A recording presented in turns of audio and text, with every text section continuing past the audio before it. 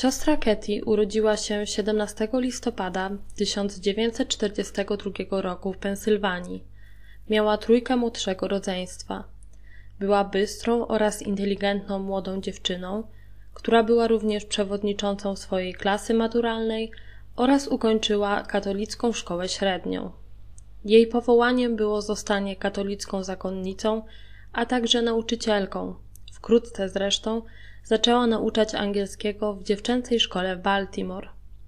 Jedna z jej uczennic mówiła: Siostra Katy była najlepszą nauczycielką, jaką kiedykolwiek miałam. Była miła oraz współczująca. Wiele się od niej nauczyłam o życiu. Nauczyłam się także doceniać literaturę.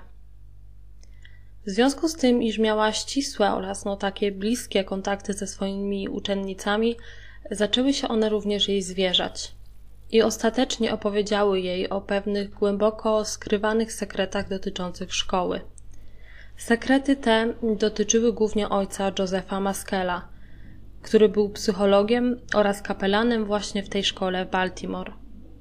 Doniesiono, że ojciec Maskel oraz inny ksiądz wykorzystywali seksualnie dziewczęta. W momencie nadużycia nikt o tym nie wiedział oprócz dziewcząt oraz właśnie siostry Katy po tym, jak jej się zwierzyły. Siostra ostatecznie opuściła liceum oraz przeniosła się do innej szkoły. Nie podano powodu jej odejścia, chociaż prawdopodobnie miało to ścisły związek ze świadomością, że dziewczyny są ofiarami wykorzystania. Siostra Katy jako nauczycielka w swojej następnej szkole mieszkała z inną zakonnicą w bloku mieszkalnym, który znajdował się już poza kampusem. Dziewczęta, które się tutaj uczyły, no uwielbiały ją. Grała im na gitarze, przygotowywała muzykale, które następnie wszystkie razem wystawiały. Siostra zajmowała, tak jak wspomniałam, skromne mieszkanie na południu Baltimore y, razem z inną zakonnicą. Czasami natomiast odwiedzały je również dziewczęta ze szkoły właśnie w mieszkaniu po godzinach zajęć. 7 listopada 1969 roku, dokładnie o godzinie 7.30, Siostra Katy powiedziała swojej współlokatorce, Helen Russell Phillips, że idzie do banku, a następnie musi wyskoczyć na szybkie zakupy. Chciała kupić coś dla swojego brata, który właśnie oświadczył się swojej dziewczynie.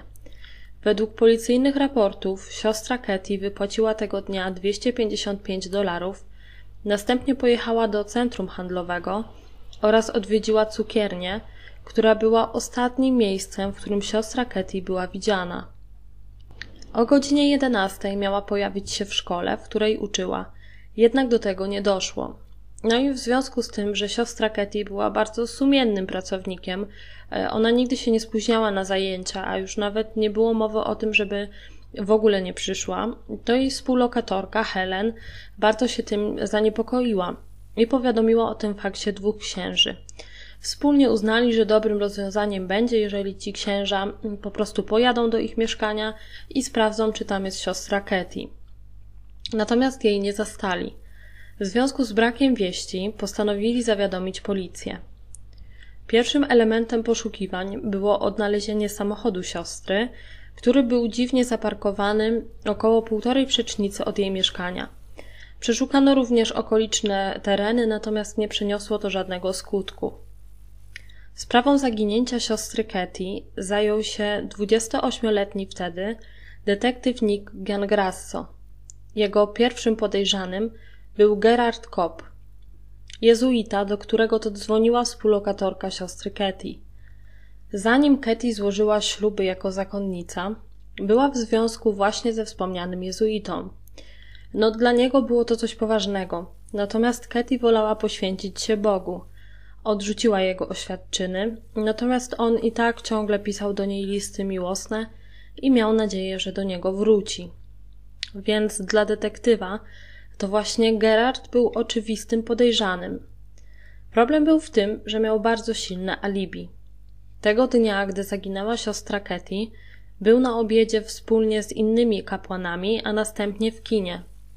Przedstawili oni na policji rachunki z tego dnia, a także Gerard przeszedł jeszcze e, dwa razy testy z wykorzystaniem wariografu, które wskazały, że mówi on prawdę. Detektyw przesłuchał łącznie sześciu innych księży, natomiast każdy z nich wydawał się być niewinny.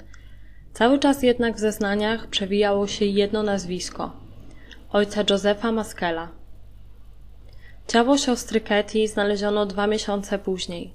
Sekcja zwłok wykazała, że przed śmiercią była duszona oraz bita. Detektyw Giangrasso musiał oddać tę sprawę Wydziałowi do Spraw Zabójstw, ponieważ nie było mowy już o zaginięciu, a o odnalezieniu martwej siostry.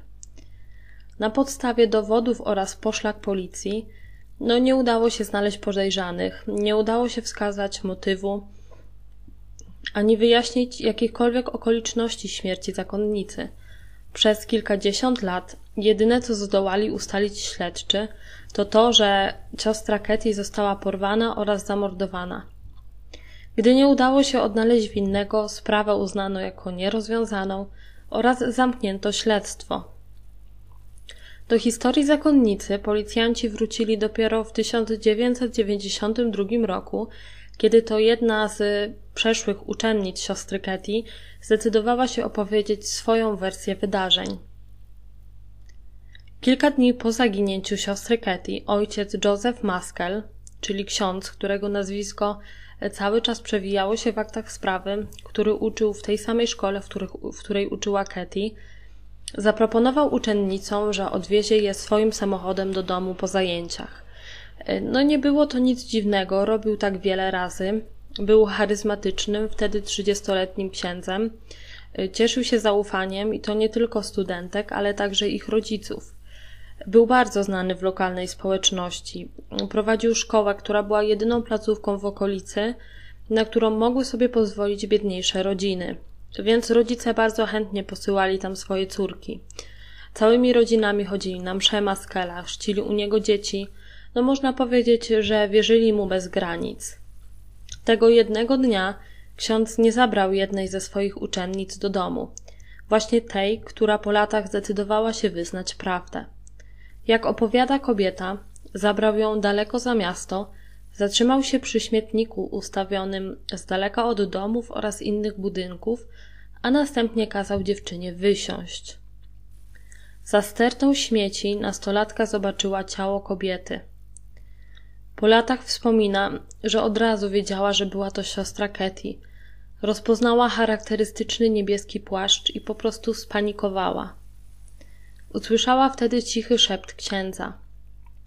Widzisz, co się dzieje z ludźmi, którzy mówią za dużo? Po latach w rozmowie z dziennikarzem przyznała, że przeraził ją do takiego stopnia, że nikomu o tym jeszcze nie mówiła. Zeznająca kobieta twierdziła, że księża zainteresowali się nią, kiedy podczas spowiedzi zdradziła, że w dzieciństwie była wykorzystywana przez wuja. Spowiadający ją wówczas Magnus, który miał współpracować ściśle z Józefem, poprosił ją, by wyszła z konfesjonału i pokazała mu swoją twarz. Zapytał się także, jak się nazywa. Wyznanie zdenerwowanej dziewczynki skwitował słowami: Nie wiem, czy Bóg może wybaczyć coś takiego. Będę musiał się za ciebie pomodlić. Czyli tutaj ukierunkował już dziewczynę podczas spowiedzi, że to jej wina, że została wykorzystana. Jakiś czas później ten sam ksiądz zaczepił dziewczynę na szkolnym korytarzu i poprosił, żeby przyszła do jego biura. Tam powiedział jej, że jest wielką grzesznicą, ale jeszcze nie jest za późno, by uratować jej życie. Zasugerował, że dziewczyna powinna oczyścić się z grzechu i zrobić miejsce na dobro. Następnie ściągnął spodnie. To właśnie w 1992 roku kobieta razem z innymi uczennicami postanowiła zebrać wszystkie fakty, by w końcu wyjaśnić powód śmierci siostry Katy. Przeciwko Maskelowi nie było żadnych dowodów, tylko słowa jego byłych uczennic. Nikt nic nie widział, nie było żadnych śladów. Kilka miesięcy przed śmiercią siostry Katy, jedna z uczennic, tak jak wspomniałam wcześniej, zwierzyła się jej, że ojciec Maskel molestował ją. Katy obiecała natomiast, że zgłosi sprawę na policję. Jeszcze przed zabójstwem siostry Katy i doniesieniami o wykorzystywaniu w liceum był wcześniejszy przypadek e, kontrowersyjny, który dotyczył ojca Maskela oraz młodego chłopca o imieniu Charles Franz.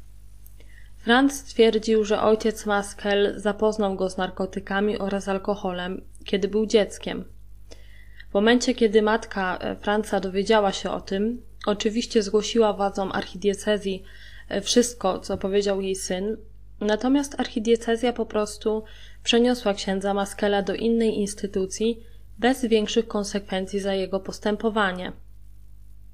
Należy zapytać teraz, dlaczego uczennica, której ksiądz Maskel pokazał ciało siostry Ketty, wyznała tajemnicę dopiero po tak wielu latach. Zeznając w 1992 roku, tłumaczyła się zjawiskiem wypartych wspomnień. Są to doświadczenia, które zostają zapomniane na skutek traumy, by powrócić dopiero po latach.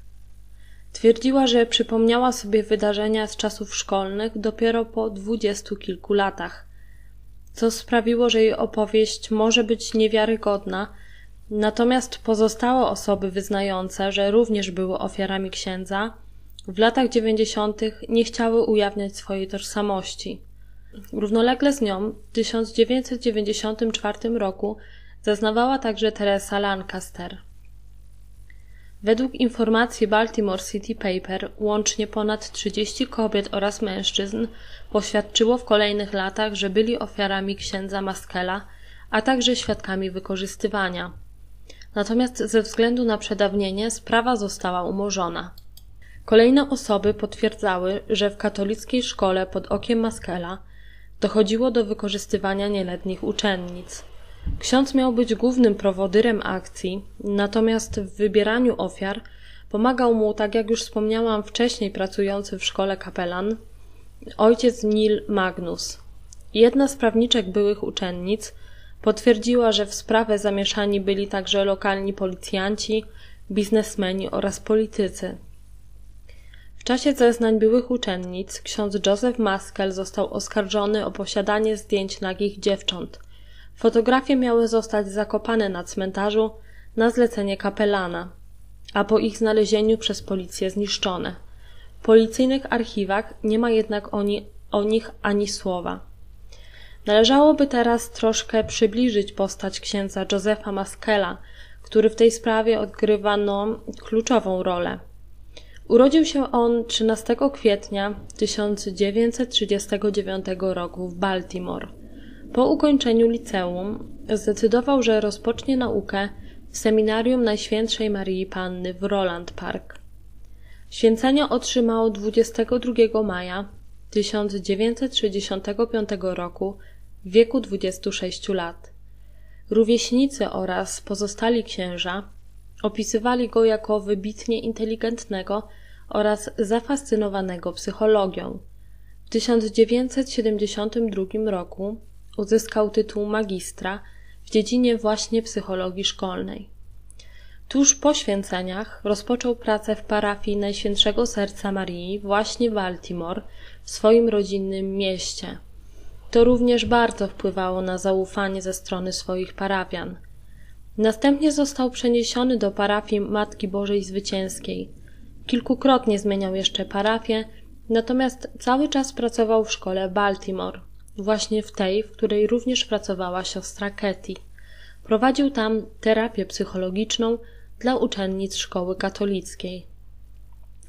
Po zeznaniach w 1992 roku złożonych przez jedną z uczennic siostry Ketty na temat no, zachowania księdza oraz praktyk dotyczących wykorzystywania uczennic, został on wysłany na przymusowe leczenie psychiatryczne, które miało trwać rok, do 1992 roku. E, należy podkreślić, że nie znamy oficjalnych przyczyn takiej decyzji, ponieważ nie był to nakaz sądu. E, decyzja ta została podjęta przez jego zwierzchników z archidiecezji. Więc no tutaj już możemy wnioskować, że oni wtedy wiedzieli, co się dzieje, albo przynajmniej się domyślali i chcieli, chcieli po prostu go schować. Kilka tygodni później ksiądz Maskel wymeldował się ze szpitala oraz uciekł do Irlandii, gdzie pracował jako psycholog. Miał także, także kontakt z dziećmi. E, zwierzchnicy z USA, jak wynika z dokumentacji, przez ponad dwa lata nie byli w stanie go namierzyć. Przebywał tam pod zmienionym imieniem, i tak naprawdę no, nikt nie wiedział, kim był oraz skąd się wziął. Możemy jednak wnioskować, i tak również zeznania świadków doprowadzają do tego, że ten pobyt był zaplanowany oraz ukrywany przez Kościół. Aż do czasu opublikowania filmu dokumentalnego The Keepers, nikt w Irlandii oficjalnie nie wiedział, że ksiądz z takimi zarzutami oraz taką historią przebywał na terenie kraju. Szkolny kapelan oraz psycholog Joseph Maskell zmarł w 2001 roku w wieku 62 lat. Do końca można powiedzieć, że miał opinię ciepłego oraz lubianego księdza.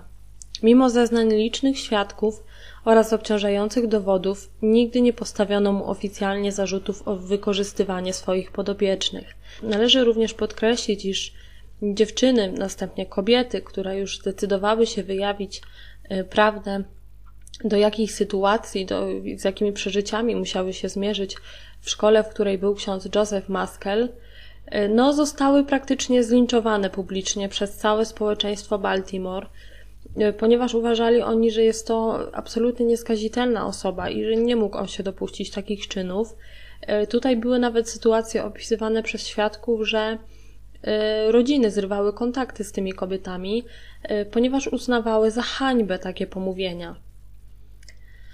Mimo tego, że Joseph Maskell nie został oficjalnie skazany, od 2011 roku archidiecezja Baltimore wypłaciła prawie pół miliona dolarów zadośćuczynienia dla 16 ofiar, które oskarżyły księdza o wykorzystywanie. Większość z nich to kobiety, natomiast byli także mężczyźni, E, w tym jeden mężczyzna, który był wykorzystywany przez księdza już w latach 50. w trakcie kościelnego obozu. Tom Nugent, dziennikarz śledczy z niemal 30-letnim stażem, zbierał materiały na temat sprawy siostry Katie przez wiele lat. Natomiast nigdy nie zdołał przekonać lokalnej prasy do swojego tematu, do publikacji. Wątek tajemniczego morderstwa Pojawiał się w mediach w regularnych odstępach. Natomiast zwroty w śledztwie były skrupulatnie zamiatane pod dywan przez Kościół oraz no, pozostałe instytucje, które go wspierały. Aż do śmierci Maskela nie połączono go z zabójstwem siostry Katy, natomiast ten trop policja dopiero podjęła mm, w momencie, kiedy pojawił się serial dokumentalny Netflixa w 2017 roku zatytułowany The Keepers. Dotyczył on właśnie nierozwiązanej sprawy e, morderstwa siostry Katy. Dokument ten nieco sugerował, e, że morderstwo było winą ojca Maskela e, i tych w kościele, którzy obawiali się konsekwencji, gdyby okazało się, że wykorzystują dzieci. Według filmu dokumentalnego siostra Katy została zabita przez ojca lub jego wspólników, ponieważ zamierzała ujawnić nadużycia. Kościół, księża, a nawet niektórzy policjanci byli zamieszani w nadużycia oraz późniejsze ich tuszowanie. Władzom archidiecezji Baltimore zgłoszono aż 30 zarzutów. Natomiast, no tak jak mówiłam, nie podjęto żadnych działań. Jedynymi działaniami, o jakich wiemy, to było wypłacenie odszkodowań za wykorzystania, które nie zostały jakby potwierdzone przez archidiecezję. Śledztwo w sprawie śmierci siostry Katy e, trwa cały czas. Szczątki Josefa Maskela zostały ekshumowane w lutym 2017 roku w celu pobrania materiału DNA do testów. Natomiast wyniki próbek nie pokrywały się ze z materiałem znalezionym na miejscu zbrodni i według policji y, natomiast to odkrycie nie wyklucza Maskela jako podejrzanego w sprawie. No mamy nadzieję, że ta sytuacja, ta sprawa się w najbliższym czasie rozwiąże, natomiast od tego minęło tyle lat, że naprawdę moim zdaniem trudne będzie mm, bezpośrednie wskazanie winnego, chociaż uważam, że Joseph Maskell e, no na pewno brał w tym udział. Dziękuję za wysłuchanie materiału. Kolejny odcinek pojawi się we wtorek. Do usłyszenia.